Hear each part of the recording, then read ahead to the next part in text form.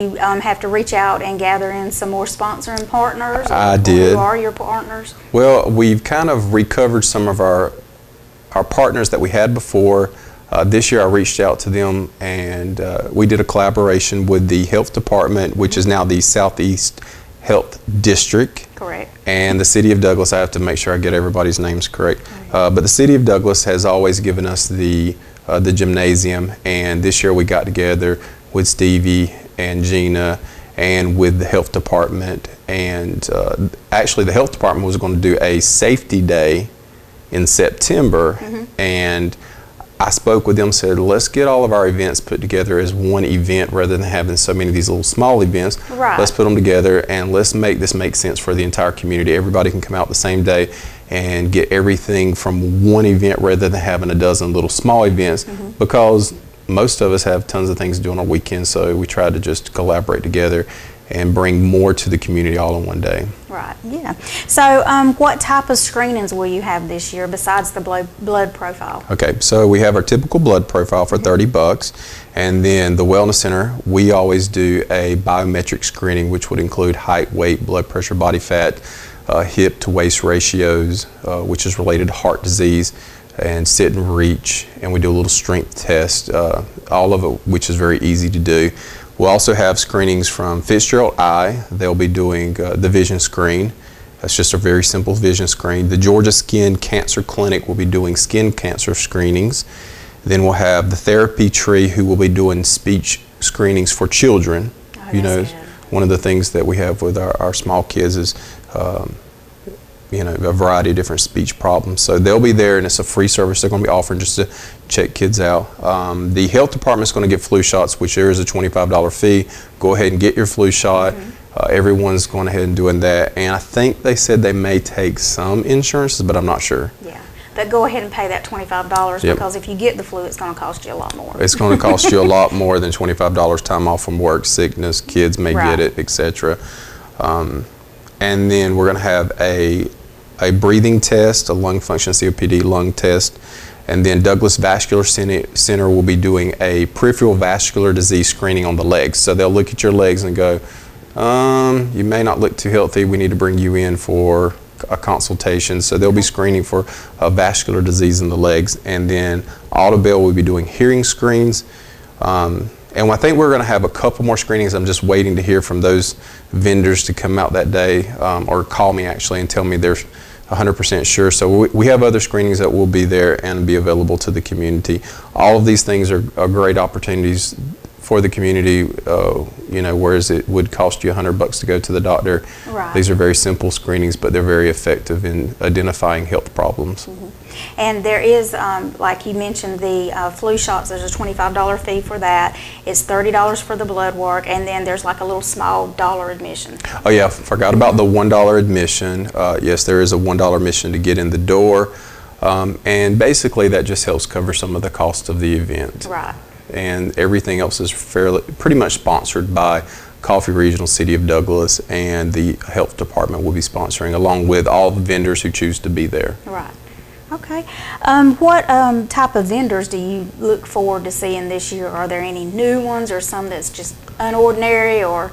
Well, I wouldn't say unordinary, but one of the things that we're going to do this year uh, with the health department is doing more safety checks. Okay. And the health department, along with the Georgia State Troopers, we're going to have a pull through where you'll be able to drive through one of the one of the entryways, and you'll put through, and they're going to do a, uh car seat check. So they're they're going to check to see are your car seats set up correctly and it's safe for your child, and it's going to be a free screen.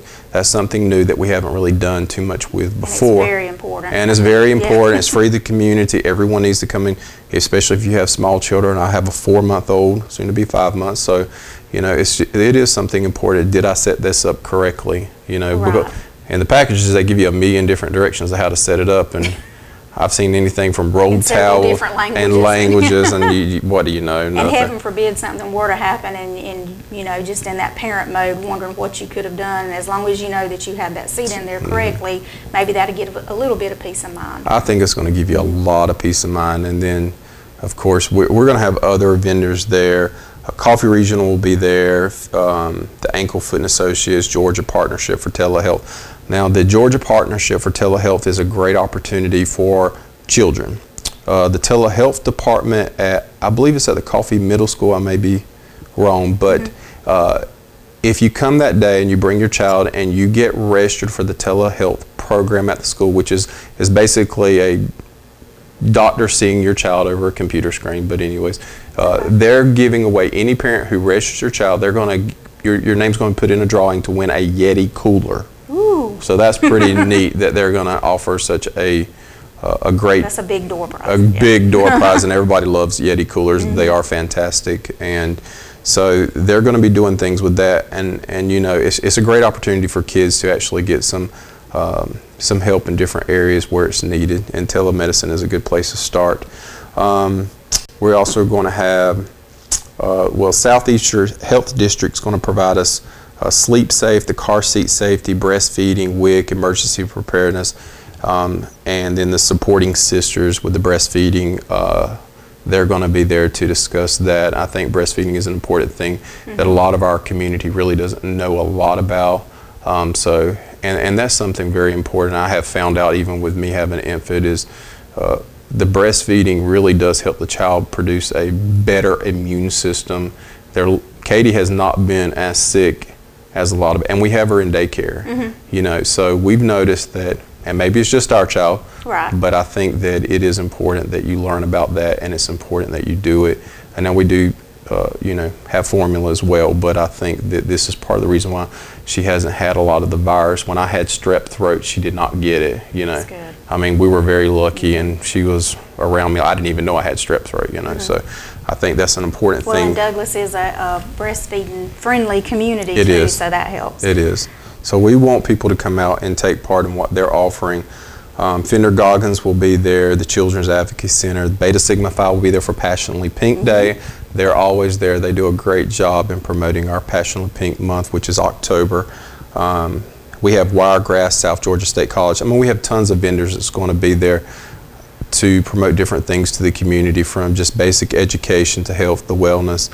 Um, so uh, it's a lot going on in It sounds like it's growing. in one morning. Yeah, Right. And, and it takes place from what time to what it takes time? 8:30 to 12:30. Um, I've extended the hours just a tiny bit, uh, but we also are going to have educational classes that day too. Uh, something that we have never had before, and I'm excited about it. And I hope people will actually come out and take um, part in that, just so the community knows what we're going to offer. Uh, you don't have to sign up for it, but you know we're going to have one called Food Talk. I'm not sure if you heard Food Talk in the community. Um, Debbie Henley with SNAP Education Program as part of the UGA. She's going to be talking about the six different lessons on eating healthy and taking care of yourself. Okay, So that's one class we're going to do.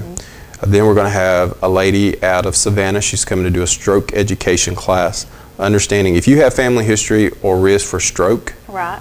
And you have high blood pressure, this is a great class to come and sit down and listen to to understand more about stroke prevention, the signs of a stroke, what you're going to be facing. And women are really, they're like the silent victims, or, or I think, isn't that what it's called? I mean, that, because, because women really don't recognize the signs, so that would be something good for Mm-hmm. And I women to take part in. I think most definitely, as well as we're going to have a heart attack care program too. oh, okay. Uh, the hospital is going through um, a chest pain clinic, and they have to uh, go through several different stages to have this uh, this program. Uh, Julie Peterson with the cath lab at the hospital is going to be presenting education on heart attack care program, understanding the signs and symptoms of heart attack, what to expect, and then what we're doing is we're also collaborating with our education department at the hospital, and we're offering what's called a hands-only CPR. It's the new way you do CPR. Oh, and if you're not familiar with that, you need to come and practice on our mannequins and understand how to actually do it. So if you have a loved one, um, whether it's a senior, older, it can be a younger person because we're seeing everyone in cardiac rehab from Right. you know 20s on up. But um, do you know how to do CPR correctly? And we've attached those two classes with early signs of heart attack with the CPR uh, hands-only class. We want you to be able to understand what's going on, what do you do, how do you do it, and it's going to prepare you in case there is ever an event in your household or if you're at a family reunion or just grandma's house on Sunday, which is us. Yeah. Um, you know, so I think that's a great class that we're going to offer. Then we're going to have the uh, child passenger safety class, and we're going to have a life insurance. What do you really know about life insurance? Understanding about how to prepare for retirement, understanding what life insurance, understanding financial uh, planning for the future. So I think that's important. We are also working on having a diabetes education class that day too. That would be good. Uh, I think you know that would be a good along with the food talk program which we're going to offer. Right. So I mean these classes, um, you can find us on Facebook at the Wellness Center. I think all of our information is going out. Of course, Johnny will have this here too, but all of these classes will be in the newspaper. Uh, we're going to publish these so that you'll know when the classes are, time and location. But we're going to have them all at the Central Square complex in the different classrooms, uh, partly in the teen center, uh, the Magnolia room, and the Dogwood room. Dogwood room, which will want to have a blood work in it, and the other one will have education classes in it. And then we'll have the screenings also set up in the in a similar location too. Okay. Well, it sounds like y'all do have a lot of new activities taking place this year, and, and it has definitely grown from the last time I was working with y'all, and, and we were working on everything. But um, I'm glad to know that y'all still have the blood profile because that's something that a lot of people, you know, still financially can't afford. Oh, so if you come out, thirty dollars is yeah is a minimum amount to pay for what you get. Yep. Um, tell me, with everything going on inside, are y'all going to have anything going on outside? Anything Absolutely. for kids? Or? I'm glad you brought that up. Um, we are going to have outdoor activities for children. Um, this is also something new that we've not done before. Uh, of course, I've already mentioned the car seat safety check with the Georgia State Troopers and the Health Department. We'll have a jump castle there, uh, balloons, art. Um, the city of Douglas and the county will have fire trucks there for the kids to come and check out that day. Um, we'll have the firehouse simulator. What is it like to be in a house that's, I'm assuming, I don't know what all they It's do. I guess. You know, I I only really think I need to stop, draw, and roll, but Yeah. uh, hopefully they're going to teach us Or something. get out. Get out, run. That's my thoughts. Right. Uh, the heat cars will be there. Uh, they're going to have a crime scene vehicle and supposedly a what a crime scene looks like it outlined in chalk. This is all for educational for kids. Right. Of course, I assume some of us adults could learn it too. Yes. Um, police cars, ambulance, the rollover simulator. Now, what is that? Is that like a car rolling over? Or? I believe so. Okay. I just, it's a simulator, and I hope we're not in it. That's the big thing. Uh, we'll have uh, McGruff, the fire dog, um, amongst other ones that kids can come out and have pictures taken with the different characters that will be floating around. We'll also have One Blood outside. Uh, One Blood, if you want to come out and make a donation that day, they're going to give everyone a free T-shirt with a donation. Okay. So that's a great opportunity to come and get you a free shirt with It a little bit of is. blood. You know, and we are in October. Right. You know, it's kind of Halloweenish, but we'll have other activities uh, going on that that day uh, with for the kids because we want families to also feel like they can uh, bring their children out while they do one thing. They we're going to have it roped off outside, and we'll have adult supervision and people watching outside, making sure that the kids are safe. Yes. So. Okay. It sounds like a great plan. I mean, and once again, tell us the location, date, time. Where do we need to be? Okay, October the 1st, It's on a Saturday. Saturday, two Saturdays from now. It will be from 8:30 to 12:30, Central Square Complex. You'll walk through the first gym be in the lobby, and there you will have uh, a little one dollar ticket sale, and Right. you're done. And you can have you'll you'll receive a little uh, a paper with all the different vendors along with the blood work. So you want to take that back if you're having the blood work done. And just FYI, make sure that you fast eight to 12 hours before you actually come and have your blood work done. We want to make sure that you're fasting so that if you do have it and you're doing it for the purpose of insurance, that you are the best that you can be.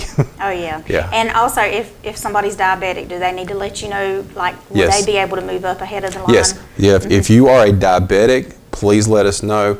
We move all of our type uh, type one and two diabetics up to the front of the line so they can have it done quicker and then get the food that they need to bring their sugar levels back up. Right. Okay, well, definitely they need to do that because we don't want anybody you know, no. to fall out on us at the health fair. No, we do, we do not. Uh, even though we have an ambulance there, we do not want Right, we anybody to don't want fall out. anything no. like that. Um, so uh, it's Community Health and Wellness Day, and it sounds like y'all are going to have